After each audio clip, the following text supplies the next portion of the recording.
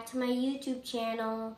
Today we're going to cook creamy carbonara. What are the ingredients, Daddy? Well, first we're gonna start out, we're gonna have some bacon. Yes. cook that up. In where, which pan? Well, we'll cook it in a pan over there in the stove. That's the one? Mm-hmm.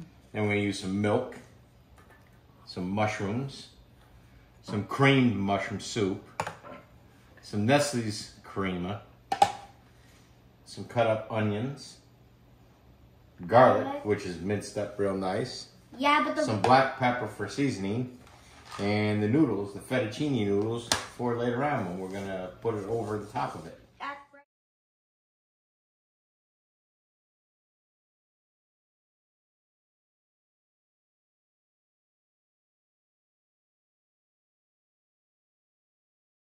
First, we're gonna cook our, cook our bacon. We're gonna cook our bacon, and in In the pan. in the pan.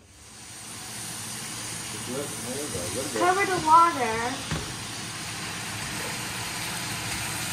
It's almost cooked, and now we're gonna saute with our garlic, and now we're gonna saute our bacon with garlic and onions by putting them right here. Oh! Daddy. Ah! Put it. The onion. I can't. Daddy, we can tell it's too hot. Next,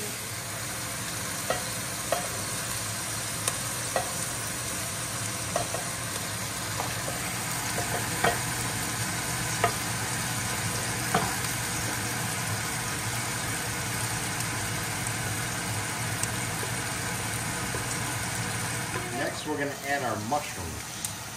Next, we're gonna add our mushrooms. Yeah, pour it in.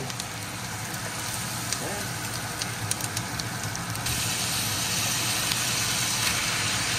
Oh, we have a lot of mushrooms too. Next, we're gonna add our seasoning, some salt, pepper. Now we're, we're gonna pour our milk.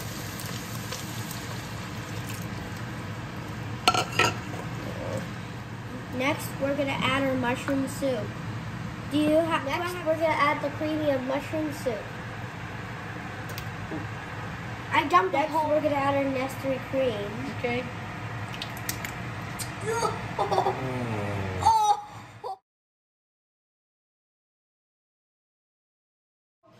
now we're gonna simmer our sauce while we cook our noodles.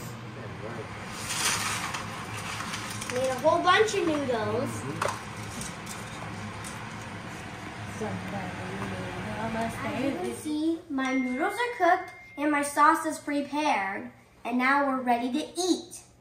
Watching. Please like and subscribe and click the like button. See you next time. Bye.